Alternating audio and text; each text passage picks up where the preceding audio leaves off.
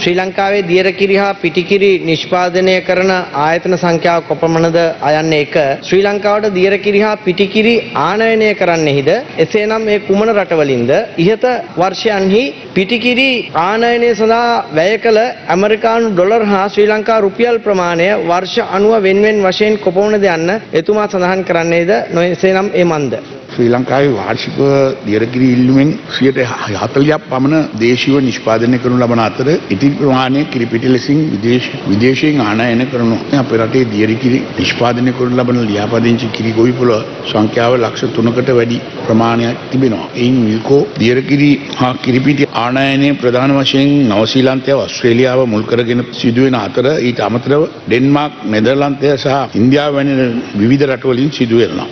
දෙදස් දාට දෙදස් දානමය දෙදස් විශ්ව වර්ෂයන්නේදී දේශීය අවශ්‍යතාවයන් සඳහා ආනයනු කරන ලබන දියරකිරි සහ කිරිපිටි ප්‍රමාණය හා ආනයනය සඳහා වැය කළ මුදල් ප්‍රමාණය එකෙක් වර්ෂයට අනුව වෙන්වෙන් වශයෙන් ඇමනුම් දෙක වශයෙන් සභාගත කරමි.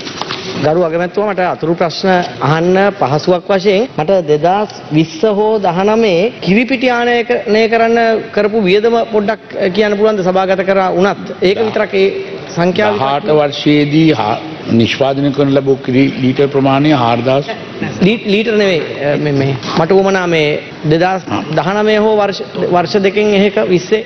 දහනමේ වැය කර ඇති මුදල ඇමරිකානු ඩොලර් මිලියන දශම බිඳුවයි හත. සහ වැය කර ඇති මුදල ශ්‍රී ලංකා රුපියල් මිලියන එකසිය විසි අතයි. විස්සයි විස්සේ ඇමරිකානු ඩොලර් මිලියන බිඳුවයි දශම හය වැය කර ඇති මුදල ශ්‍රී ලංකා රුපියල් මිලියන එකසිය දාහතා. මිලියනද බිලියනද මිලියන ඊළඟ තියෙනවා කිරිපිටි දහනමේ ආනයන කළ ප්‍රමාණය කිලෝග්‍රෑම් මිලියන අනු තුනයි. විශ්වදී මිලියන අනු හයයි. දහටේදී දාටේ අනු අටයි. වඩා අඩු වෙලා තියෙනවා දානමය විශ්සයි.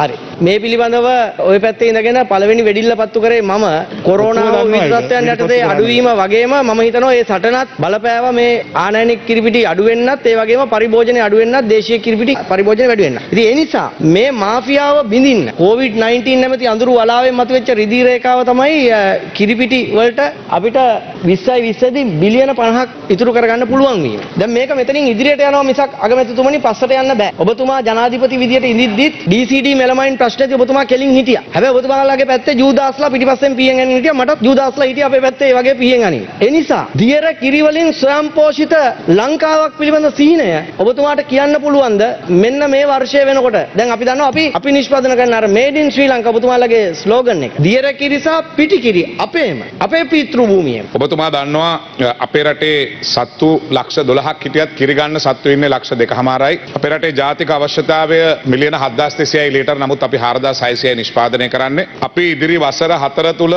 මෙතෙන්ට ගෙනියන්න අපි අනුගමනය කරන ක්‍රමවේද තුනක් තියෙනවා මන්ත්‍රතුමා. අපිට ඉන්න සත්තුගෙන් එවරේජ් එක ලීටර් 3යි තියෙන්නේ. මේක ලීටර් 5 දක්වා වැඩි කිරීමට එක එක ඉලක්කයක්. දෙවෙනි එක ගැප් ගන්නේ නැති ලක්ෂ දෙකක් සත්තු ටිකට ගැප් ගැනීම සඳහා ඒ අයවලා බඳවාගෙන ට්‍රේන් කරලා ඒ වැඩපිළිවෙල වෙනම යනවා. අපේ රටේ දේශීය කර්මාන්තකරුවන් එක්ක සාකච්ඡා කරලා කිරිහරක් 15000ක් ගේන්න. ඒ නිසා මේ කාරණා තුනත් එක්ක අනිවාර්යෙන් 2024 වෙනකොට අපේ ඉලක්කය අවම 80%ක්වත් මම කියන්නේ නැහැ බොරුවට 100ක් කියලා අවම 80%ක්වත් දියර කිරිවලින් ස්වයංපෝෂණය කිරීමේ වැඩපිළිවෙලට අපි යනවා. ඔබතුමා ජනාධිපති වකවානුවේ අපේ රටට කිරිදෙනුන් ආනයනය කරා ඒක අපේ ආණ්ඩුවත් කරා. හැබැයි ඒ ගෙනාවු සමහර කිරිදෙනුන්ට AC ඕන. මේ අපේ රටේ තමුන්නාන්සලගේ අපෙත් මෙතන ඉන්න 285න් භාගයක් ගෙවල් වල AC නැහැ. එහෙව් එකේ වැසියෝ AC මැද්ද ගේනවා. මේ තීන්දුව ගත්තේ උන් හරක්ලන්ට වඩා හරක් කියලා මට හිතෙන්නේ. ආණ්ඩු දෙකේම. ඒ ගෙනාපු හ- මේ සත්තුන්ගෙන් බර ගානක් මැරිලා ගියා. සමහරු මේක ආණ්ඩු පක්ෂයේ විපක්ෂයේ මන්ත්‍රීවරු බෙදාගත්තා. ඊළඟට විවිධ නිලධාරීන්ට මේ හරක් ගියා. ඇත්තටම අපිට ගැලපෙන්නේ හොයලා බැලුවොත් ලංකාවේ ඉන්න බටු හරකාට ආසන්නව සමාන ඉන්දියන් ගව විශේෂ. එතකොට ඒකේ දියුණු කරපු ප්‍රභේද තමයි ගන්න ඕන. ඔය නවසීලන්තෙන් ඕස්ට්‍රේලියාවෙන් අපිට හරක් දෙන්නේ ආදරෙට නෙවෙයි දීලා මරලා ගොවින් ටික නැත්තර නැති කරා. ඒ නිසා පළවෙනි කාරණාව ඔබතුමන්ලා ආනයනය කරද්දී මේ ගව ප්‍රභේද අපේ බටු හරකාගේ ප්‍රභේදයට සමාන. ඔබතුමා දන්නවා ඔබතුමා ඉපදුනේ පාලටුවේ. අපේ ප්‍රදේශවල තමයි මේ බටු හරක් ප්‍රභේද තියෙන්නේ. නිසා මේ ප්‍රභේද ගැනද අවධානය යොමු කරන්නේ නැත්නම් ආපහු සැරයක් නවසීලන්තේ ඕස්ට්‍රේලියාව පැත්තට හැරෙනවාද බොහෝ රටවල් කිරි නිෂ්පාදනයේදී ලාභ ලබන්නේ පිරිමි සතුන් සහ කිරි එරු දෙනුන් මසට අලවි කළා. නමුත් දැන් අගමැතිතුමාගේ තීන්දුවක් තියෙනවා හරක් ලංකාවේ මරන්න දෙන්නේ නැහැ කියලා. හැබැයි ඒ තීන්දුව ක්‍රියාත්මක වුණේ නැහැ. මම ඔබතුමාට ස්තුතිවන්ත වෙනවා ඔබතුමාලගේ පැත්තෙම හරක් කැමතිවරු හිටියා කියලා ඔබතුමාම ප්‍රකාශ කිරීම පිළිබඳව. ඕනේ විවාදයකට මගෙත් එක්ක එන්න හැරිසන් ඇමතිතුමා කාලේ හරක් දෙදස් පන්සියක් ගෙනවා. ඒ හරක් ම- මතුමා මේක අහගන්න. ඒ හරක් එක විනාටියක් දෙන්න මට මම ඔබතුමා කෙනෙක් අහගෙන ඉදියා. ඒ ගෙනාපු හරක් පොඩයි. මම නෑ නෑ ඔබ- ඔබතුමා අහගන්න අහගන්න. ඔබතුමා මේ හරිද ඔබතුමා ඉවරයිනේ. බැසිල් රාජපක්ෂ ඇමතුමාගේ කාලෙ මේකේ පළවෙනි අධීරය හරක් ගෙනාවා. ඒ හරක් ගෙනාවේ එයා ෆ්‍රේට් කරලා. ඔබතුමාලගේ කාර්ය හරක් ගැප් ගත්ත වැස්සියෝ ගෙනාවේ නැවේ. ඔබතුමා මතක තියාගන්න ගැප් ගත්ත වැස්සියෝ ගෙනාවේ නැවේ. හරි. ඒ සත්තු ටික තෝරන්න දවස් තුනයි ඕස්ට්‍රේලියාවේ පාවිච්චි කරේ. ඒ නිසා සියලු සත්තු මිය ගියා. බැසිල් රාජපක්ෂ ඇමතුමාගේ කාලේ ගෙනාපු සත්තු තමයි අද NLDB ෆාම් එකේ ඉන්නේ. ඒ නිසා ඔබතුමාලගේ ආණ්ඩුවේ ඇමතිවරුන්ගේ ගෙනාපු හරක් ටික තමයි මැරිලා තියෙන්නේ. ඒ නිසා මම ඔබතුමා කියන එක පිළිගන්නවා. තෝරාගත්ත ක්‍රමවේදයේ වැරදි අපේ රටට හරියන්නේ නැහැ. හැබැයි මන්ත්‍රීතුමා ඉන්දියාව මම එකඟයි ඉන්දියාව අපට දෙන්නේ නැහැ. ඉන්දියාව ප්‍රතිපත්තියක් ඇටියට සත්තු දෙන්නේ නැහැ අපිට. ඒ නිසා අපි බලා මේ ගෙන්නන්න හදන්නේ ආණ්ඩුව නෙවෙයි. මේ සත්තු ගෙන්නන්නේ පුද්ගලික ආයෝජකයෝ. ආණ්ඩුව ආයෙ මැදිහත් වෙන්නේ නැහැ. පුද්ගලික ව්‍යාපාරිකයන්ට අපි ඉඩම් දෙනවා. පුද්ගලික ව්‍යාපාරිකයෝ තමයි මේ සත්තු 10 10 ගේන්නේ. ඒ නිසා ඕස්ට්‍රේලියාවෙන් මේ සත්තු ගේන්නේ නැහැ. ඔබතුමාට මම වගකීමකින් කියනවා. දෙවෙනි එක පිරිමි සත්තු. මේ මරණය පිළිබඳ ගරු අගමැතිතුමා මට කිව්වා අපි දැන් NLDB එකේ වෙනම අපි තෝ- හඳුනාගෙන යනවා NLDB එකේ ෆාම්ස් වලට මේ පිරිමි සත්තු ටික ගෙනෙල්ලා අපි බලා ගන්න. ඒ වැඩපිළිවෙල පිළිබඳ දැනට සාකච්ඡා වෙමින් පවතිනවා.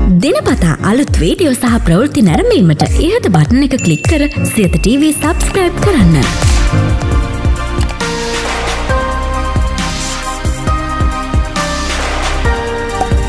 අලුත් වීඩියෝ ගැන මුලින්ම දැනගන්න මෙම සීනුව කලික් කරන්න.